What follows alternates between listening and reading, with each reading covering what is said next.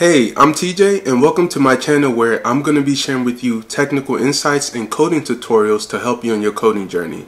In this video, I'm going to be giving you a quick JavaScript tutorial by showing you a clip of a tutorial session that I had with one of the students in my Roots Technology Coding and Career Prep program. Before we start, make sure you subscribe to this channel and like this video and make sure you comment below along the way if you have any questions or comment below just to let me know if you found this tutorial helpful.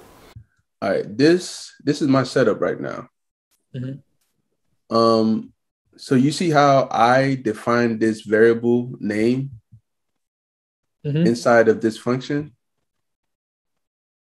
right? So the scope of this variable is inside of this function. That means that this variable can only be accessed within these curly braces.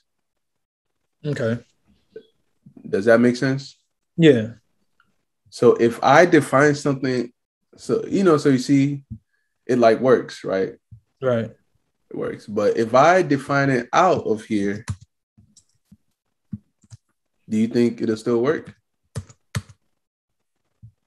I think it would still work. It still works because this is global, right? So that means my function has access to stuff defined outside of it as well. Mm-hmm.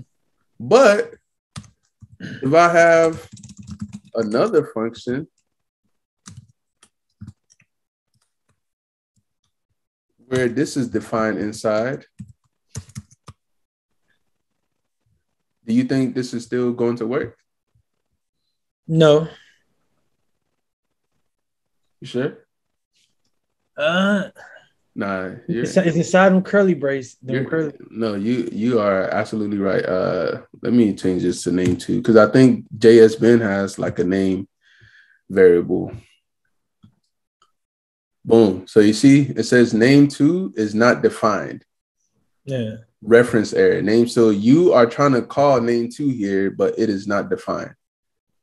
Even though it's defined, but it's inside the scope is is only defined inside of this function. Mm.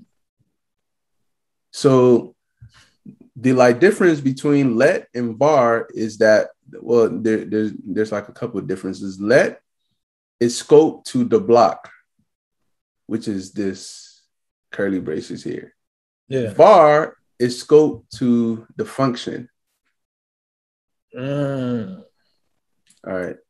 But just so basically, in terms of scope, scope just describes where you have access to something. So I'm trying to call name two, but name two is not within this scope at all. It's not inside of this local. Yeah, the local scope is where I'm currently at. So yeah. name two is inside of this function, say hi. So the local scope is everything inside of the say hi function. Got you right? Global scope is when we had this. When we had this, where it's like, you see, th- this variable is defined outside of my function, but it it like isn't inside anything else. It's just okay. designed, it's just defined out there in the open. You can grab it. it, it exactly. So that means that you know mm-hmm. this function has access to things defined globally. That's why this now works. Okay. So typically, anytime that you're creating like a function, just always try to define the information you need inside of the curly braces mm-hmm. so that you're not grabbing random data. Because you see how we like did name before?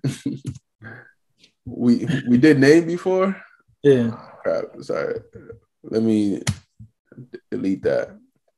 You see how I put name? I, I don't have a variable name called name defined anywhere here, right? Right. But if I hit run, it returns JS bin output. Ah, uh, because they got a name. So it's exactly. So uh, that variable is defined outside of my function. So my function is now grabbing that. Oh man, that's okay. All yeah, right. So it's like, do, do you see how scope is like messing with things? Yeah. Okay. I, am seeing. Okay. All right. Yeah, I'm, so- I'm, now that makes a lot more sense. Yeah. So me doing this, I am literally reassigning this name variable to have another value. Okay. Because the initial value is this out here. Because JSBin already has a variable called name somewhere. They defined it and it's equal to to this. Okay. Because if I do here, let me just console log name. And I hit run. Boom. Ah, yeah. Yeah. Yeah. Let's see. The, okay. I was like, man, I got real lucky with this uh, example. I was like, oh, I didn't even know that. You know, I don't see it on here, so you know, it didn't even cross my mind that they would have something like that. Hey man, that is that is a good example right there. Like that example, like hit a like that was that's a good way to really even explain it to somebody. Like, hey, you see this? I didn't put this there.